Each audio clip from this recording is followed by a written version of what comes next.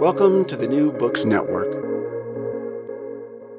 Hi, everyone. Welcome back to the Diplomatic History channel here at New Books Network. I'm your host, Grant Golub. Uh, I'm an Ernest May Fellow in History and Policy um, with the Belfer Center for Science and International Affairs at the Harvard Kennedy School.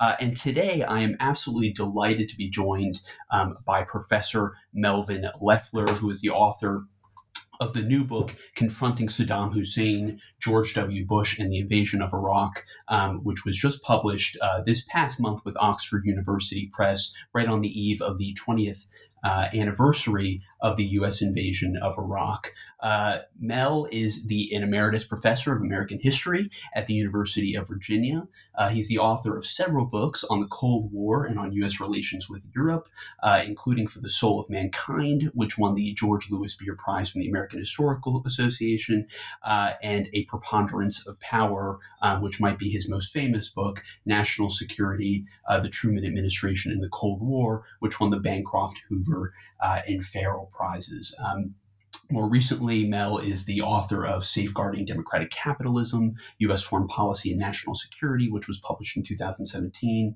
Uh, and he's a previous president of the Society for the Historian of American Foreign Relations uh, and the dean of the College uh, of the Graduate School of Arts and Sciences at the University of Virginia. Um, so, Mel, it is great to be joined by you today. And thanks for so much for coming on the podcast.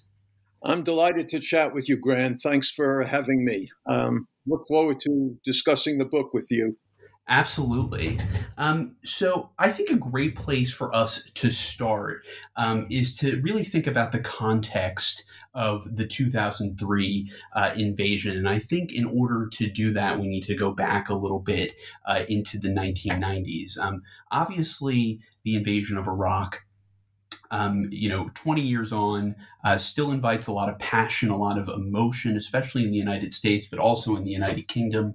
Uh, these were extremely, this was an extremely controversial uh, decision. Uh, I think you call it uh, the most consequential decision in American foreign policy uh, in the 21st century and, and in the post Cold War era. Um, but, you know, despite that, we, it's still important, I think to really try and understand um, the, the, the framework that policymakers were using uh, within the Bush administration um, when they were making this decision. So I want to go back in, a little bit into the 1990s, and and you focus the book on President George W. Bush uh, in particular, um, which I think is uh, sort of excuse me, which is a you know a bit of a a necessary corrective to, to previous works of history in Iraq and especially popular portrayals, uh, not only of the, the, the run up to the invasion in 2003, but also of the Bush administration as a whole um, that sort of um, that often make President Bush uh, look like he's not really in control of the administration or that um, you know he's sort of being um, you know misled or manipulated by people around him, like the Vice President uh, Dick Cheney. Um, thinking about the 2018 uh, biopic of him called Vice, which really kind of leans into this interpretation. But I was wondering if you could, to start off, if you could talk about how um, sort of the U.S. experience with Iraq during the 1990s, not only um, during the Gulf War, of course, uh, in the administration of George H.W. Bush, uh, George W. Bush's father, but also broadly within the 1990s, how this impacts the way that George W. Bush thinks about Saddam Hussein and, and thinks about Iraq. Well, the uh, the experience of dealing with Saddam Hussein was extra- extraordinarily frustrating and exasperating to Democrats and Republican policymakers uh, a lot. Certainly, uh, George H.W. Bush, Bush 41, at the end of the Persian Gulf War, felt exasperated. Increasingly, um, he wanted and, and hoped uh, to bring about regime change in Iraq, but uh, failed to do so. He very consci- conscientiously, you might say, made the decision not to go to Baghdad at the end of the Persian Gulf, Persian Gulf War. Actually, at that moment, not to pursue regime change, to stay committed to the uh, to the announced policy of simply trying to bring about the territorial status quo ante. Uh, but in truth, George H.W. Bush uh, hoped that there would be uprisings in in Iraq that would lead to the overthrow of Saddam Hussein. And of course, there was extraordinary amount of uh, of discontent and rebellion, uh, especially in well, both in northern and especially southern Iraq, which Saddam Hussein put down mercilessly. And the United States actually did not intervene. And George H.W. Bush was not able really to bring about his aspirational hope to get rid of Saddam, to get rid of Saddam Hussein.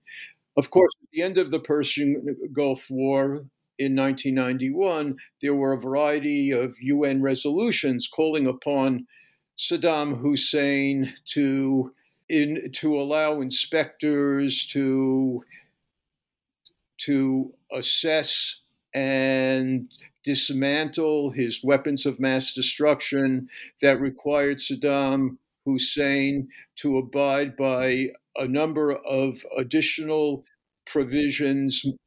Of course, the most important was to accede to uh, to inspections, and until he did so, uh, the UN imposed sanctions. Throughout the 90s, uh, the big generalization, of course, is that Saddam Hussein uh, tried initially to conceal his weapons of mass destruction. He lied about his weapons of mass destruction. Increasingly, there was more information about them, um, more and more and more, uh, more and and more wep- weapons programs were identified. More and more weapons were dismantled and by the late 1990s, most of the weapons had been destroyed and and pro- and and properly identified. But no one knew that was that, that was the case. And increasingly in 1996, 97, 98, there were exasperating encounters between the inspectors and Saddam Hussein's regime, which ultimately led to the withdrawal uh, of the inspectors. Uh, the Clinton administration was in- incredibly frustrated.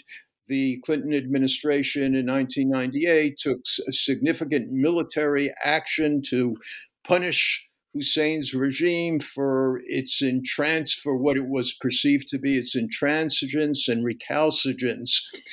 Uh, but uh, and and the Congress of the United States, by overwhelming majorities, in fact, by unanimous vote in the Senate, passed the Iraq Liberation Act, which provided uh, monies to uh, to support to support uh, Iraqi exiles to help them overthrow the regime. The official policy of the United States, which President Clinton embraced, was essentially regime change. And uh, but the administration was not able to devise any real uh, plan to bring about regime change. So at the end of that administration, there was enormous frustration and exasperation with Saddam Hussein as a result of a, of a decade of defiance and recalcitrance and a widespread belief in 1999 and 2000 that now that the inspectors were gone, Saddam Hussein was again uh, re- uh, was again building up his weapons of mass destruction programs and might again embark upon aggression. So there was a great a great deal of exasperation and frustration throughout the decade by George H.W. Bush and by Clinton uh, with regard to to dealing uh, with Saddam Hussein. And it should be said that Saddam Hussein worked very systematically to undermine the sanctions regime and to evade the sanctions regime, to divide America from its allies. And by the end of the decade, by, by the year 2000, by the time George W. Bush uh, became, became president, uh, the coalition that had been so effective in 1990 91 was, total, was totally frayed. So that was the the larger context when uh, when when George W. Bush uh, t- took office. And I'm sure you'll probably ask me more about uh, some of the neoconservative hawks who joined the administration and their gro- growing truculence during the late 1990s and what impact they may have had. This is an important part of my story. I'm glad to talk about it if you wish to. Yeah, absolutely. And, and we'll definitely get to that uh, in a few minutes. Um, but I, I want to f- sort of zero in on Bush, uh, specifically George W. Bush, and, and think about um, the way that he perceives Iraq as he's coming into office in 2001 and sort of in that initial uh, period of his presidency before 9 11. What's his view of Iraq? What's his view of Saddam? Uh, and how how is he thinking about sort of the Iraq problem, so to speak? Well, that's a very good question, and it's uh, an important uh, part of the initial chapters uh, of my book. I show that uh, Bush was um, very cognizant of the brutality of Saddam Hussein's regime he discussed Saddam Hussein in one of the, the major debates that he had uh, with Al Gore. He put a, a, very substantial focus on the repressiveness, brutality, and, and brutality uh, of, the, of the regime. Um, it would be fair to say that that uh, George W. Bush detested Saddam Hussein and everything he stood for. Having said that, the important point to be made is that Iraq was simply not at the forefront of George W. Bush's agenda. To begin with, foreign policy was not at the forefront of George W. Bush's agenda. He was mostly when he when, when he assumed the presidency, he was mostly focused on domestic priorities like tax cuts. He did not focus much attention during the first eight or nine months of his administration on foreign policy. And amongst his foreign policy priorities, Iraq was not very high amongst them. I can discuss uh, what went on at, you know, amongst the principals um, the secretaries of state and defense, what attention they accorded to Iraq during these initial months. But the important point in terms of George W. Bush was that, um, yes, he detested uh, Saddam Hussein, he saw Iraq as a problem, but it was not a significant priority for him whatsoever, even amongst all his foreign policy issues, which, as I just said, in themselves were subordinate to his domestic agenda. Right. So, you know, thinking about Bush's overall uh, framework for foreign policy, you know, even though it's sort of taking a back seat uh, in in that first nine months of his of his uh, administration to you know domestic political priorities such as passing those 2001 tax cuts and there's going to be another round in 2003. Um, what's the way that Bush overall thinks about U.S. foreign policy? I, I, think that you know it's important to sort of unravel that a little bit and and so we can sort of see you know as as this develops later especially after the september 11th uh, attacks how iraq sort of fits within his broader foreign policy worldview well his you know as he dis- he discussed foreign policy in in in two or three critical speeches uh, during the campaign not more than that and his focus was on rebuilding American military strength. Of course, uh, one should keep in mind that America's military strength was greater than uh, uh, almost all nations in the world at that time combined. But that was uh, one of the mantras was re- rebuilding America's military strength and transforming the military. There was much talk about the, you know, the revolution in military technology, which the United States uh, would need to embrace. And Bush very, very much uh, embraced that. He also was an ardent free trader. He believed in an open world in which the United in, in globalization, in which the United States uh, would have the right to trade and invest everywhere, and was very, very committed to to those notions uh, of of an open world. In truth, uh, during the first months of his administration, if you look at what was being done inside the administration, the Condi Rice, his national security advisor, began working on a national security strategy statement uh, during the summer of 2001 before 9 11. And we have drafts of that. I discuss that in, in the second chapter of my book. And in truth, the, the generalizations that she put forth, it wasn't a completed document by any means, but the generalizations that she put forth were very much in tune with uh, the sort of bipartisan approach to an internationalist foreign policy that had characterized American foreign policy throughout most of the Cold War and beyond. The draft national strategy statement put an emphasis, yes, on building America's military strength, on an open world, on promoting freedom, on working uh, assiduously with allies. There was nothing terribly striking uh, about about uh, the the draft national um, strategy statement, and in truth, in my opinion, there was nothing particularly striking about George W. Bush's foreign policy agenda uh, prior to, prior to 9/11. Some people will will will will focus and should focus on some of the uni, unilateralist actions of the administration, for example, um, renouncing the, uh, Kyoto, the Kyoto Climate Control Treaty, um, the scorn that the United States, that the administration showed toward the International uh, Criminal Court. These things are, are often highlighted as reflecting unilateralist impulses within the administration.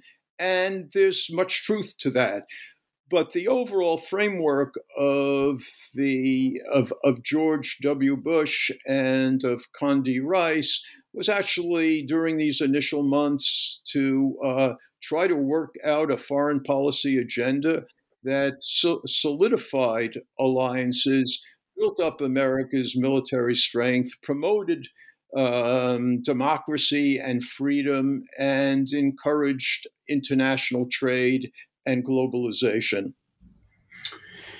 You mentioned um, a lot of the advisors and the, the, the senior members of, of, President Bush's national security team uh, earlier in our conversation. Um, a lot of them sort of um, you know, to, to one extent or another, were part of this quote unquote neoconservative foreign policy movement. I was wondering if we could sort of unpack that a little bit and if you could tell us what exactly neoconservatism is, because that might not be something some of our listeners are familiar with, and then talk about some of the members of, of Bush's national security team who were sort of broadly associated with that, with this movement and what they thought about Iraq, especially in the 1990s leading up to the uh, to the George W. Bush administration. Well, for the most part, neoconservatives were um, actually disillusioned Democrats who had migrated over toward the Reagan administration and toward supporting Ronald Reagan in the late 1970s and early 1980s because they supported a, um, a, a, pro, a pro freedom agenda, an agenda that uh, that focused on spreading democratic capitalism that articulated the need for a strong uh, foreign policy and that and that built upon a framework that American power was essential for a stable, democratic, international world order. And um, the the during the 1990s, you know, some of the most prominent um, neoconservatives who are always mentioned were uh, are people like um, Richard Perle and Paul Wolfowitz and uh, and Douglas Feith. These people, several of them, like like Paul Wolfowitz, uh, joined the administration as the Deputy Secretary of Defense, the number two position uh, in the Defense Department. He was renowned all through the 1990s as a as an ardent champion of of of democracy promotion. He and many others uh, had signed a memorandum in 1998 calling for the overthrow of Saddam Hussein and looking toward building up um, American strength to support a more forward looking uh, foreign policy and project, projecting uh, American strength uh, around the world. Um, it's often stated that uh, these people had one, a disproportionate influence inside the Bush administration, and two, they came into office um, seeking uh, re- regime change. So, um, what's interesting and what I show, in my opinion, pretty convincingly, is that in the in the run up to the administration, meaning during the, the, the campaign, when some of these neocons uh, were participating in a in a group of amongst a group of advisors that were helping Condi Rice, uh, who was uh, spearheading the foreign policy pro, pro, program of the Bush administration during the, the campaign. It's often said that um, you know they were preoccupied with Iraq and with democracy promotion, but in fact, when you look at what they were saying and doing, Iraq was not a significant item on their agenda at all. I'm not saying that it was not an item they were concerned with, it was just not a high priority item. What's interesting is that, you know, during uh, Wolfowitz, Wolfowitz confirmation hearing, I don't even think he mentioned Iraq. Um, during the initial months of the administration, uh, the the policy of the administration, in a in a vague sense, was regime change. That that can be said, but there was certainly no commitment to going to war to bring it about. There was no no war planning that went on. In fact, it was uh, an issue that the top policymakers in the administration were unable to agree upon during the first nine months uh, of the administration. The Iraq policy frustrated and exasperated them uh, as much as it had frustrated and exasperated policymakers uh, during during the, the Clinton years. So regime change um, was the policy of the United States during the latter years of the Clinton administration, and certainly George W. Bush would say, in a general sense, that regime change was the objective. But one needs to probe what what that really means. Um, yes, these people wanted to get rid of Saddam Hussein, but they had not worked out any effective plan to do so, and it was not a very high priority amongst them.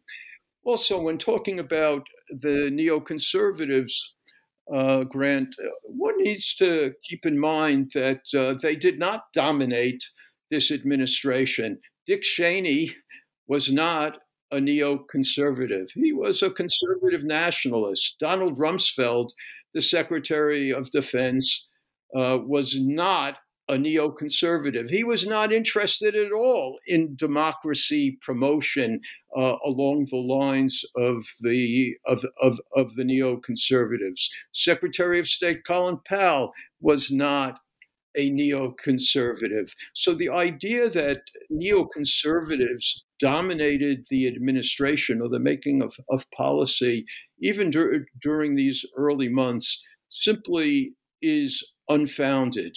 Uh, Wolfowitz is often focused upon for good reason. Paul Wolfowitz had was an intellectual who wrote a great deal during the 1990s. Uh, for a substantial part of the, the latter 1990s, he was the dean of the School of Advanced International Studies. Uh, at Johns Hopkins. He wrote a lot about foreign policy, a lot about Iraq. He was a prominent, ardent supporter uh, of regime change. Um, and so he's often focused upon. But in truth, he was not a significant influence within the administration uh, during these initial initial months in office. So, sort of moving ahead a little bit, how does 9-11 which you, you sort of devoted an entire chapter to in the book how does that change bush administration thinking uh, about foreign policy more uh, broadly about terrorism uh, but also then about iraq uh, specifically i mean as we know you know, Saddam wasn't affiliated with Al Qaeda. He wasn't involved in the 9 11 attacks. Um, but 9 11, as you argue, marks a significant turning point uh, in the Bush administration's, um, well, in the history of the Bush administration, the history of the United States. Um, but also puts foreign policy at the top of the Bush administration's agenda. So, how does how does the how did the 9/11 attacks really kind of shift the narrative and, and shift the the worldview of the way that that Bush and his administration uh, think about terrorism and, and, think about Iraq? Well, I I um, demonstrate uh, in the book that 9/11 is determinative. It's a, an astonishingly important event. It shocks, it angers, it generates fear amongst the top policymakers.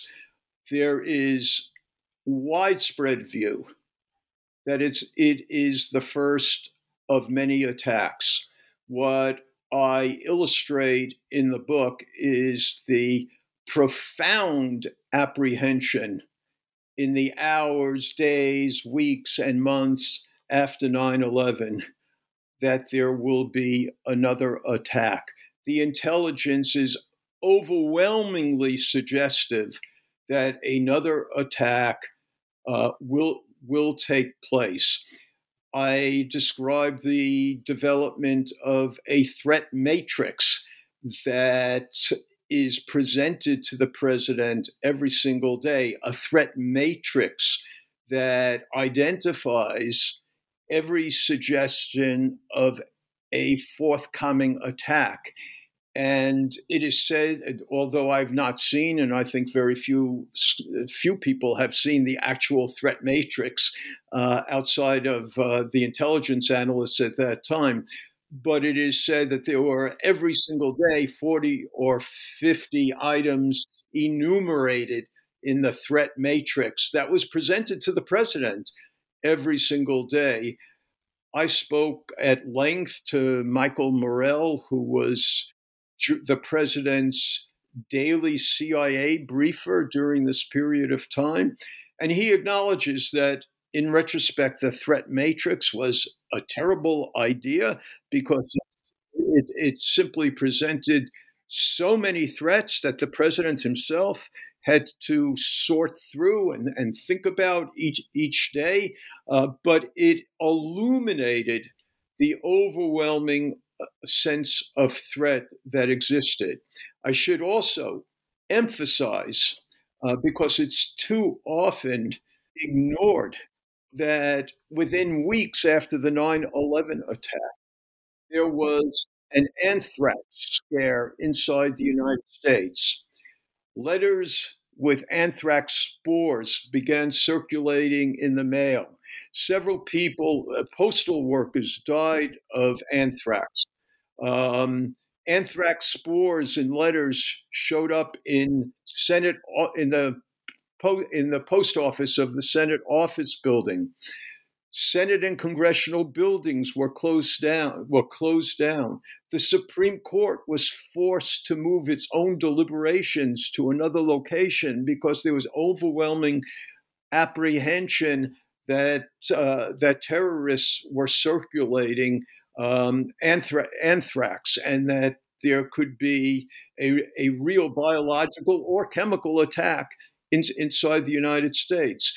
There were false alarms inside the White House in which the top policymakers themselves believed that they had been exposed to various types of, of chemical weapons. Um, and so one has to understand how these threats converged during the weeks and months immediately after 9 11. No one knew the source of these anthrax spores. Grant, I might point out that even today, there's uh, a good deal of uncertainty about the source of these anth- these these letters with anthrax that were that were circulated at the time, but they caused tremendous, tremendous commotion and apprehension about an imminent attack. Because in in a sense um, all through the late 1990s prior to george uh, w. Bush within the intelligence community and amongst foreign policy experts, there had been growing concern and preoccupation with the possibility of, of, chemical and biological attacks inside the United States by terrorists. So, and now, immediately after 9 11, it seemed that not not only were terrorists able to blow up the World Trade Center and the Pentagon, but might actually be able to undertake a chemical or biological attack in, inside the United States. One needs to grasp how significant this was at the time in terms of uh, of, of, shocking and frightening policymakers. Uh, I talked to some of the bioterrorists, to a bioterrorist expert on, on Dick Cheney's staff, a man named Seth Carus, who described the, the, fear, the fears and the challenges of trying to come to grips with the, you know, what was the source of, uh, uh of, of these anthrax spores and what might it portend? So this is what's going on in late late September, October, November of 2001. This is the time that attend that that President Bush's attention gravitates to Iraq. I show in the book that at the time of 9/11, um, even though even though Paul Wolfowitz and Donald Rumsfeld informed the president that it might be a good idea to focus on Iraq as well as Al Qaeda and Afghanistan, President Bush systematically rejected such suggestions, rejected such suggestions. And if, for example, if you read his major speech to Congress and to the American people um, in on you know eh, on September 20th, I think it was, but all the statements right after right after the the attack, you will not find any focus on Iraq. And he, when he explains what happened on 9 11 to the American people, his emphasis is on Al Qaeda and on Afghanistan. But he also states very unequivocally that he is embarking on a global war on terror, that he will go after not simply the terrorists, but also the state sponsors. Now, initially, that's key state sponsor, of course, is Afghanistan. It is not Iraq. Uh, but his attention, as I show in the book, gravitates to Iraq during this period of October and November of 2001. And the important point is to try to understand why his attention gravitates uh, to Iraq. It's not because people tell him that Saddam Hussein was linked to 9 11. In fact, Michael Morell, uh, his CIA briefer, again and again emphasizes, both to me in my interviews and also in his own memoir, he emphasizes again and again. We told Bush that Saddam Hussein was not responsible for 9 11, that there was no, inc- no information at that time linking, linking him to Al Qaeda. Nonetheless, nonetheless, Bush's attention gravitated to Iraq. So, what was the reason for this? And what I tried to show in the book was that there was a logic to this. The logic was as, as follows When American covert operators moved into Afghanistan and Al Qaeda fled from their training camps inside, uh, inside Afghanistan, the American intelligence analysts immediately discovered incontrovertible, abundant evidence that Al Qaeda actually was seeking weapons of mass destruction, was aiming to develop chemical and biological weapons. There was absolutely no doubt that that was their intention. At the same time, information was flowing into the intelligence agencies that Saddam Hussein was, in fact, carrying on his biological and chemical weapons pro- programs. This information, of course, subsequently turned out to come from suspect informers and was found to be untrue. But in terms of understanding policy making, in terms of understanding the intelligence analysis and its impact on policy, what was important at the time was that information was there that's that that Al Qaeda wanted weapons of mass destruction. Information was there that Saddam was working on such programs. There was information, I mean, explicit information that Saddam, unlike any other leader in the entire world, was gloating over 9 11. And so the policymakers' attention gravitated to Iraq because they knew one, Al Qaeda wanted to undertake additional attacks. Two, that Al Qaeda wanted to get weapons of mass destruction. Three, that Saddam Hussein might be a source of those weapons. Four, that Saddam Hussein was involved with many terrorist groups, if not Al Qaeda. It wasn't that they were focused on Al Qaeda, it was that Saddam Hussein did have extensive relationships with many terrorist groups and there was a fear, therefore, that Saddam's weapons of mass destruction, whatever they might be, his chemical and biological programs, um, could find their way into the hands of terrorists who would seek to inflict harm on the United States or its allies. This was the great preoccupation in September, October, November, December 2001, when the president asks his Secretary of Defense and General Tommy Franks, the head of Central Command, to begin to develop a war plan for possible use against Saddam Hussein's Iraq. But as I emphasize in the book, and it's a very important part of my book, war planning does not initially mean going to war. And I can talk a lot more about this if you if you wish me to.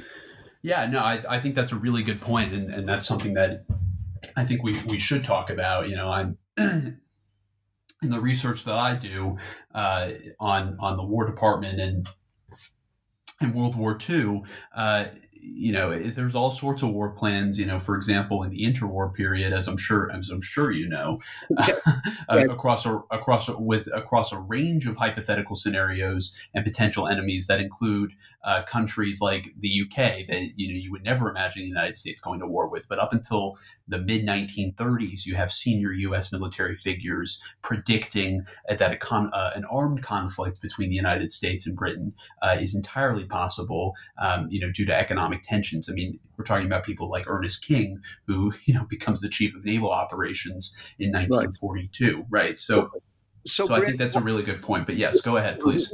I mean, one of the, one of the important things in terms of putting policy in context at that time is to recognize how exasperated President Bush was, and in truth, Secretary of Defense Rumsfeld and others as well, how exasperated they were right at, after September 11th when they recognized they had no effective plan whatsoever on the books to really deal with the Al Qaeda training camps inside Afghanistan. They had no effective quote unquote war plan for Afghanistan. Uh, this causes tremendous consternation and infighting in those first days and weeks uh, after 9 11. And Bush is actually infuriated by the absence of a plan and by the length of time it takes a few weeks to really go into action and, and move into Afghanistan. So, one of the reasons he turns attention to, to making a war plan after, um, a- after this, the the seeming success in Afghanistan was that the United States would be prepared to take action against Saddam Hussein's Iraq in the future, should he decide to do so. He might do so based on that configuration of information uh, that I just described that was coming that was coming into uh, the intelligence agencies and the Defense Department and the State Department. Um, he he needed to be prepared. So, what is very interesting and little, and little known is that when General Tommy Franks go, goes to Crawford, Texas during Christmas 2001 to talk to President Bush and to lay out the first iteration of the war plan, Tommy Franks says in interviews, not to me, but to others who have interviewed him, and and and this is uh, available at the uh, Oral History Project of of the Miller Center at the University of Virginia. It's not my interview.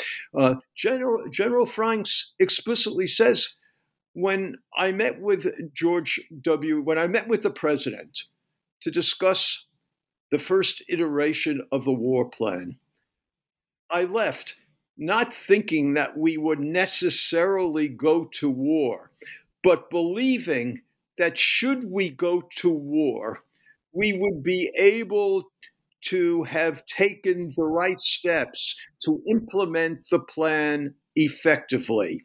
In other words, General Franks was saying the idea was to develop a war plan, but not necessarily to go to war. And several times, when you read when you read um, General Frank's memoir carefully, and when you read his interview at the Miller Center, President Bush says to him again and again during the months that follow, just because we're war planning, General, doesn't mean we're necessarily going to war.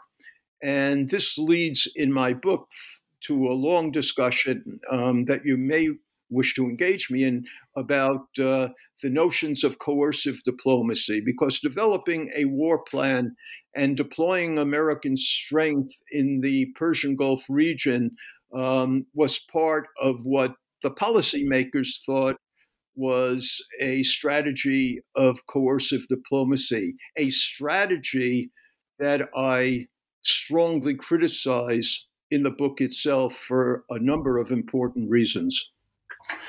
Before we talk about coercive diplomacy, which, you know, as you say, is a, is a really big part of your book, I was wondering if you could sort of talk about, I think, something that's often not discussed enough when thinking about why uh, the Bush administration decides to invade Iraq, and that's the the speed and success with which the U.S. topples the Taliban regime in Afghanistan in October and November of 2001. How does that impact uh, Washington's thinking around doing something similar with Saddam in Iraq? That, that's a, a, a very important point, and I emphasize that in my book. Um, as you know, the three big themes of my book are fear, power, and hubris. Um, fear of another attack, power, meaning the belief that the United States um, could achieve what it wanted to achieve through military force uh, if it committed itself to doing that. And hubris, the sense that if the United States um, took military action, American troops would be met with jub- jubilation. Um, but yes, it's a very important point that the, the, the quick perceived success in Afghanistan hugely encourages policymakers to think that they might be able to use force in other circumstances to achieve their objectives. Keep in mind, as I think you're suggesting, Grant, uh, correctly suggesting, that for a week or two or three weeks, the administration seemed to be very much bogged down in Afghanistan. There was tremendous um, uh, discussion in the press that this is once again going to be a quote end quote quagmire like the one in Viet in Vietnam. But then suddenly, the trajectory of the of, of the war changed inside Afghanistan during the latter part of November, and within incredibly swiftly, American forces in conjunction, special forces, use of air power in conjunction with the so called Northern Alliance in, in Afghanistan um, topples the Taliban government far more quickly, far more swiftly than anyone had anticipated. That is followed then with a fairly quick effort to, you know, establish a new government uh, inside uh, Kabul uh, that comes comes about as a round of bring, as a result of bringing together many different Afghan factions uh, that leads to the establishment of Karzai's government. Um, all of this is seen at the time during November, December of 2001 and January and February of 2002 as an, as an unimaginable success. And of course, it encourages and inspires policymakers to think that they um, might might achieve similar success elsewhere if they take such action. But I show in the book that um, that for many months, the president himself, who was the shaper of policy, um, was not was not himself committed to going to war in Iraq. Um, he had different hopes, and yes, he, he hoped to get rid of Saddam Hussein, um, but he also placed a tremendous focus on getting control of Saddam Hussein's weapons of mass destruction. One of the points of my book um, is to analyze very carefully how these two declared goals, regime change and control of Saddam's weapons of mass destruction, were, in a sense, competing priorities for President Bush And he never really resolved which of those two was his overriding preoccupation. And this hampered his ability to pursue what he liked to call, and Condi Rice liked to call, coercive diplomacy, because there was not agreement on the overriding on, on the overriding goal.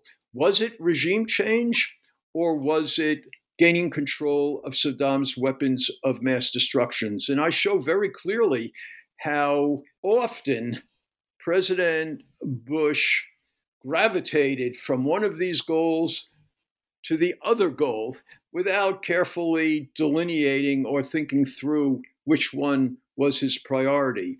Having said that, what's also very important in the unfolding story is that regime change and gaining control of Saddam's weapons of mass destruction did not necessarily mean democracy promotion.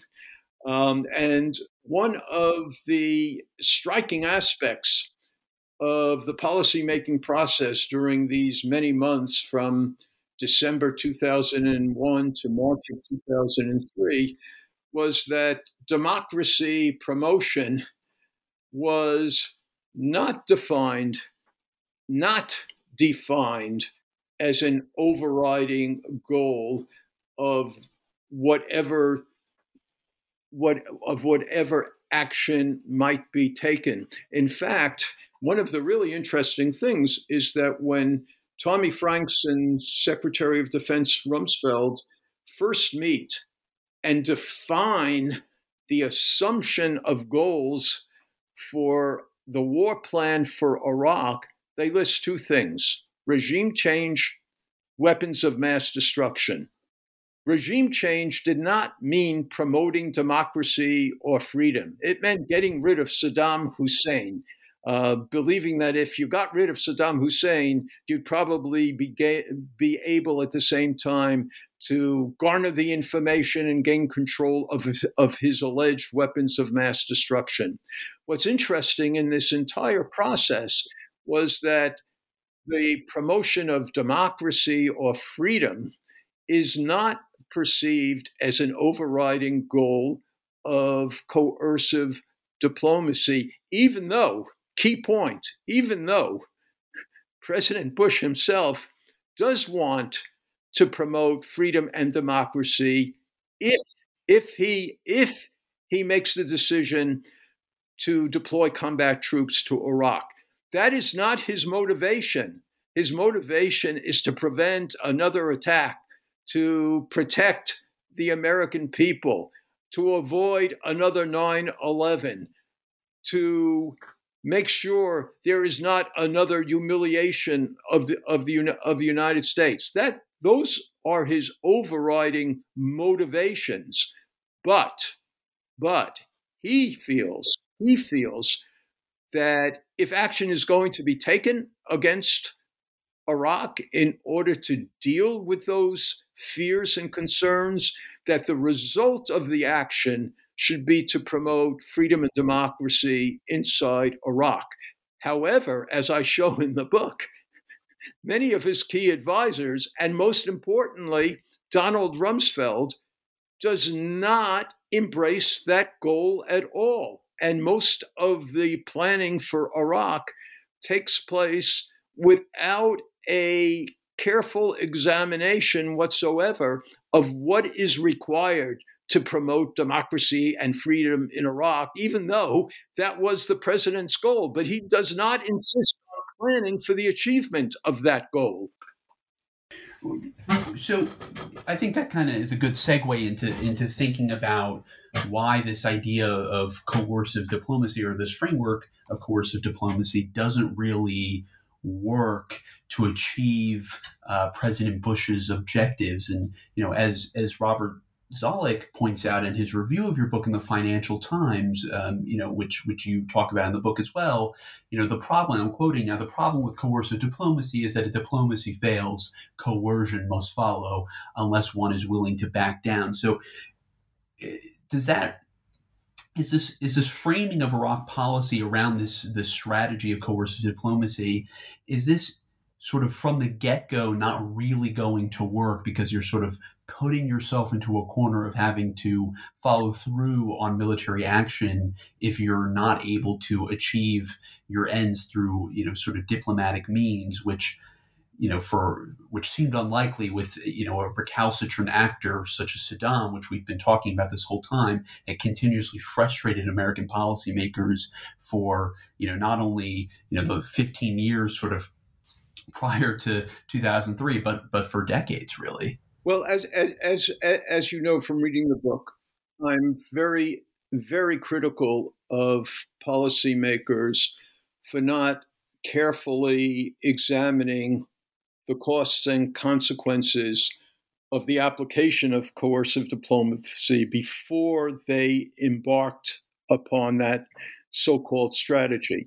However, at the same time, it needs to be emphasized that the idea behind coercive diplomacy was to intimidate Saddam in order to force him to open up Iraq for the return of inspectors in order to gain certainty about his weapons of mass destruction, that he would declare and relinquish it or make, make it uh, or clarify that he did not have them.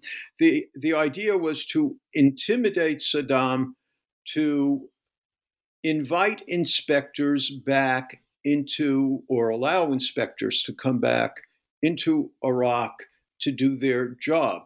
In fact, as I show in the book, and which is almost always obscured in many other accounts, almost everyone believed that it would take intimidation and the threat of military force in order to get Saddam to invite back the inspectors. Um, not you know not only Tony Blair, but actually Jacques Chirac agrees with this, and most importantly, Hans Blix, the head of the UN inspection teams, explicitly says again and again that the use of, or not the use, but the threat of force was indispensable to get Saddam to open up and to allow back the inspectors.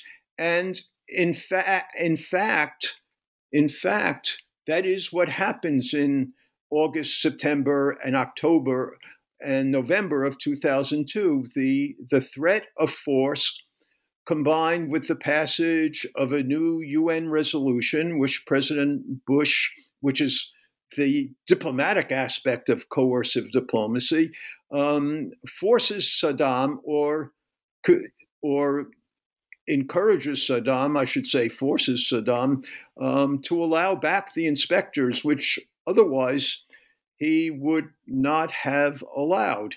Now that that and and Bush actually one of the interesting things that I found from the use of British documents is that Bush makes very clear to Tony Blair, who presses him on this, that you know if Saddam really does, if Saddam really does cooperate and collaborate with the inspectors and demonstrates that he either does not have weapons of mass destruction or he has destroyed them or re, or clearly relinquishes them that Bush says explicitly numerous times to Tony Blair he recognizes that if those things are accomplished, he would not insist on the removal of Saddam Hussein. In other words, he would have to take yes for an answer with regard to weapons of mass destruction. If they could get what they wanted to know about weapons of mass destruction, Bush acknowledged numerous times that he would be willing, grudgingly willing, to accept the survival uh, of, of the regime. Uh, neither he nor Tony Blair believed that that was a likely outcome, but it would depend on Saddam's cooperation. And so it was really up to Saddam, who actually exerts some important influence on what happens here. If Saddam had acted otherwise, um, the decision to invade Iraq uh, might not have taken place. And that's an important consideration here. At the same time, as you suggested, it's also very important to realize that once Bush embarked on this program and threatened the use of force, if Saddam ultimately remained recalcitrant and defiant, President Bush would have to carry out his threat.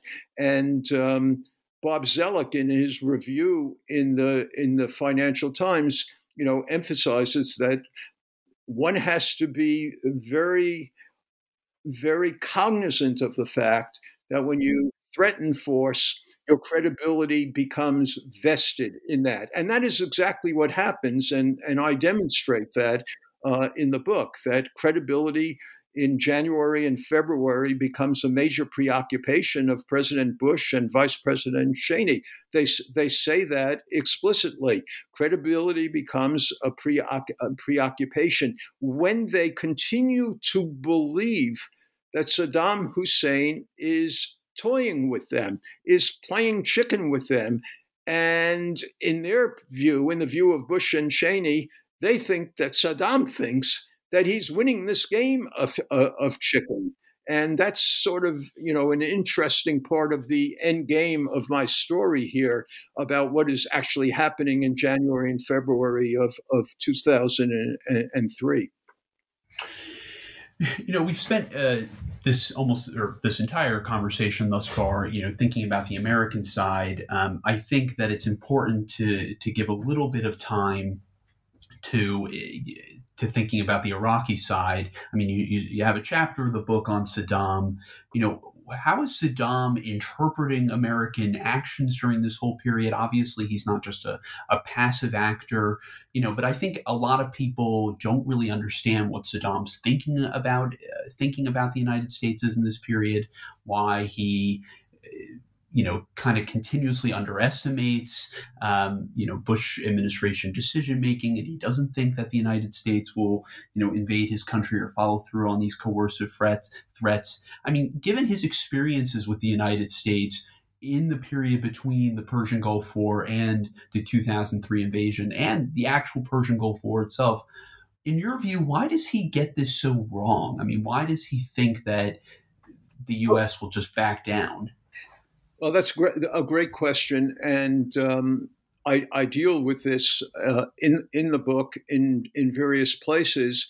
Uh, but I I must admit that this re- this remains a dilemma and perplexing not only to me but to every observer who who tries to tries to understand uh, what happened. So we have captured Iraqi documents and we have um, extensive interviews with some of uh, Saddam's subordinates and, and minions and generals um, uh, after the war. And I, I, use some of these documents, and I use um, the interviews that have been uh, uh that have been collected and published. We also have, it, it should be stated, um, uh, Saddam's tapes. Saddam actually did tape uh, some, uh, many of his meetings or some of his meetings uh, with his advisors and subordinates o- over the years. Met, most of those tapes um, are actually from the 1980s and 1990s and not from the period 2001 2002.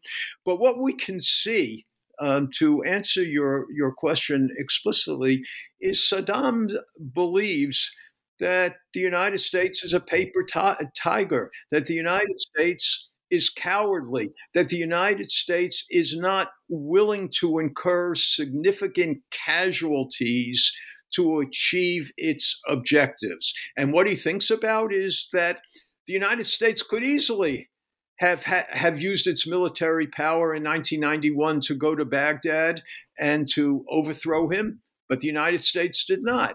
The United States could have intervened to help the Shia uprisings in 1991, but the United States did not do so. The United States intervened in Somalia, but then pulled out. Uh, the United the, the, United the United States um, only intervened sporadically and with the use of air power um, in the in the Balkans in the late in, in the late 1980s. The sorry, in the late 1990s. Um, the, the United States, when it took action, when Clinton took action, he used air power, but he was not willing to put at risk the lives of American troops and, Ameri- and American soldiers. Saddam saw all of this. He says this to his advisors again and again that the, Uni- the United States doesn't have the fortitude, does not have the stomach to really do what it is threatening to do.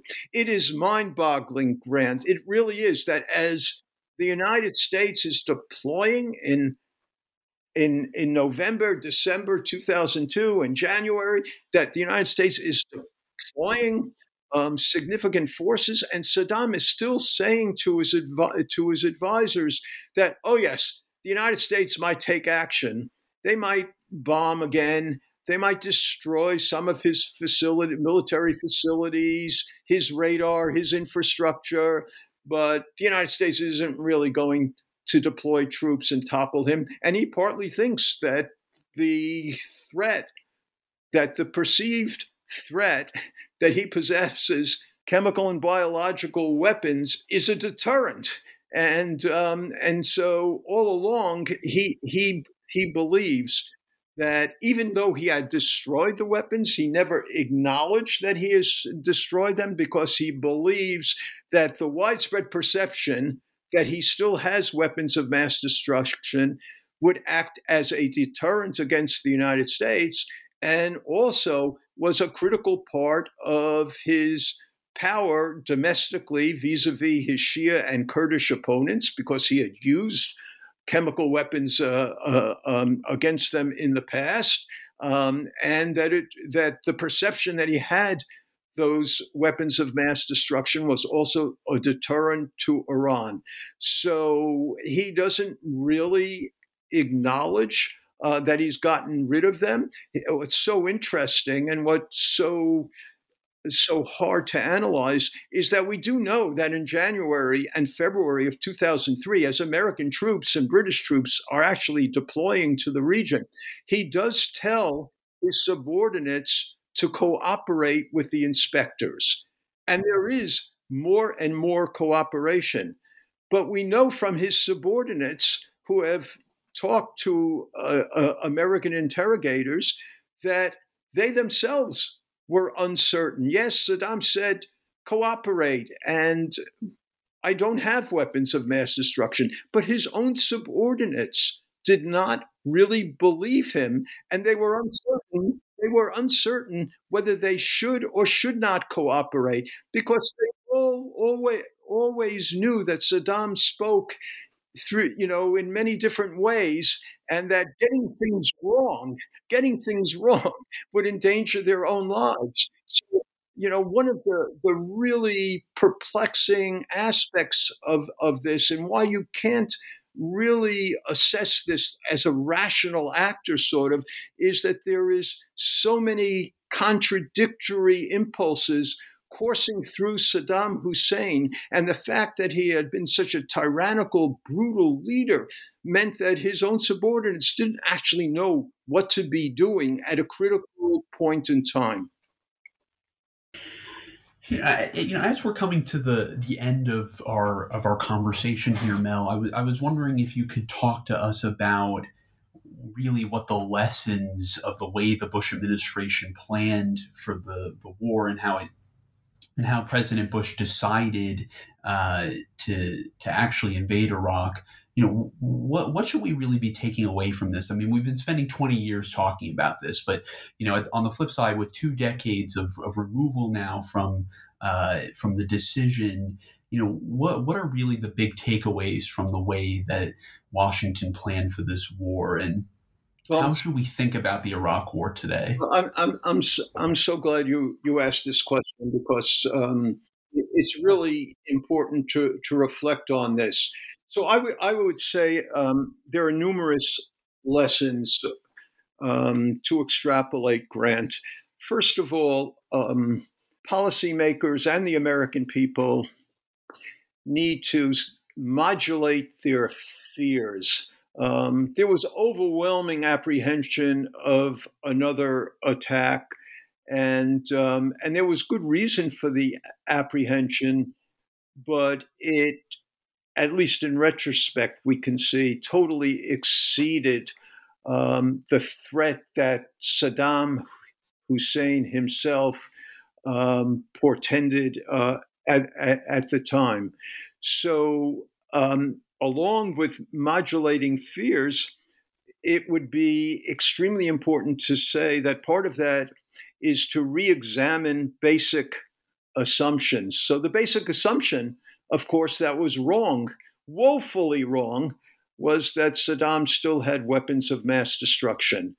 And although the evidence for that at the time was ambiguous, and the policymakers I show in the book knew that the evidence was Im- ambiguous, nonetheless, they firmly believed that Saddam had weapons of mass destruction. I show very clearly that Bush, Cheney, Rumsfeld, Powell, every single important policymaker believed that Saddam had we- weapons of mass destruction. Why do they believe it? Because he had had weapons of mass destruction, he had employed weapons, he had lied about them, etc. So, one of the key things is how important it is to step back and re examine basic assumptions.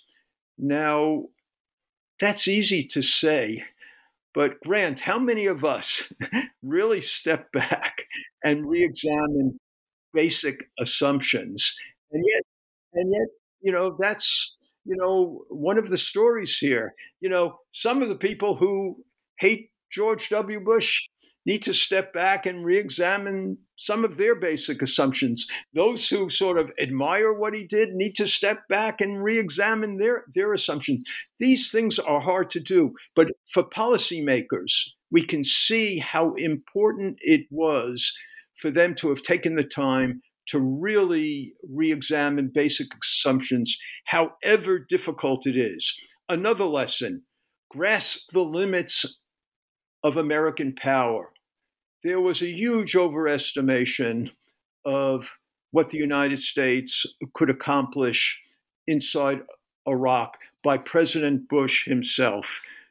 The, he believed that if he went to war, he could promote freedom, that America, uh, that they, that the exertion of power would be successful, and that the United States soldiers would be embraced jubilantly by Iraqis. And so another lesson is to curb one's hubris. American policymakers need to curb their hubris, curb their sense of superiority that everybody around the world wants to embrace fundamental American institutions. Another lesson analyze consequences and costs. One of the glaring things about the decision making was that there was very little systematic examination of the consequences and costs of an invasion. Another lesson clarify goals.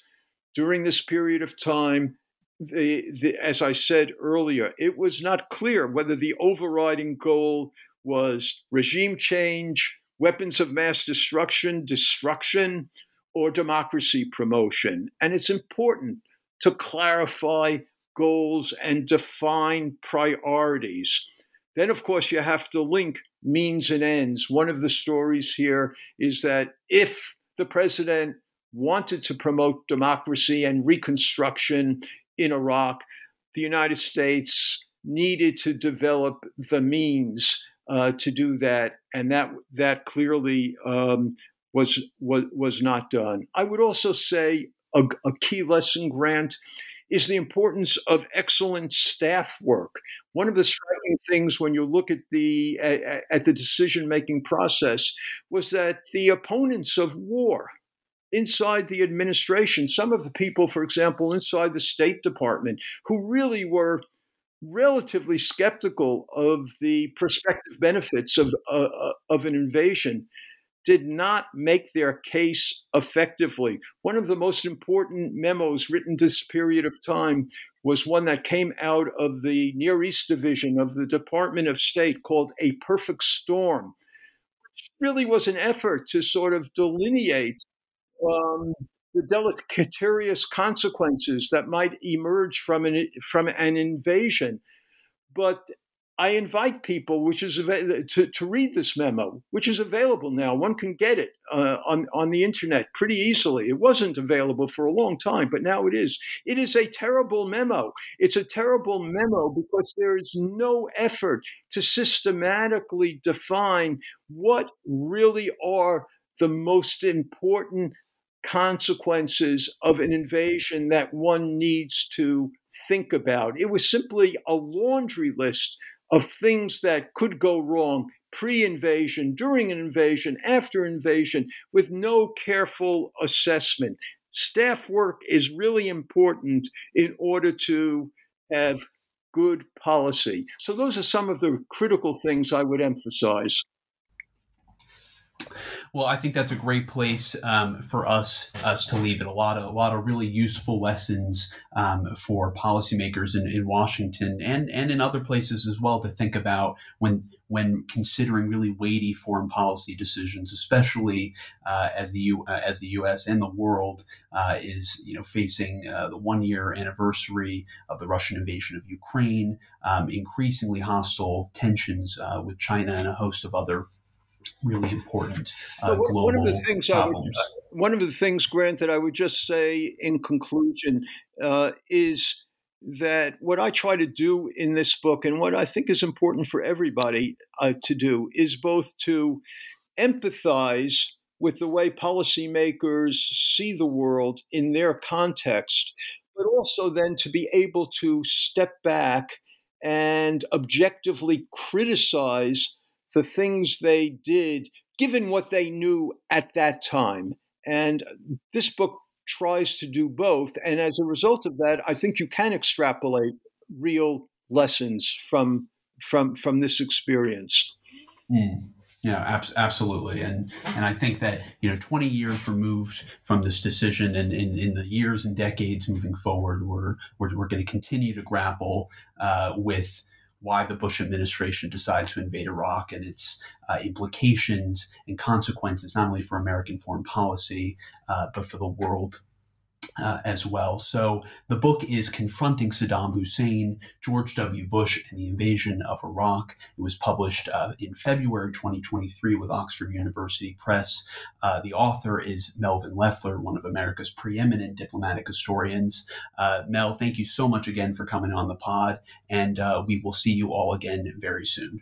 Thank you, Grant. Thank you.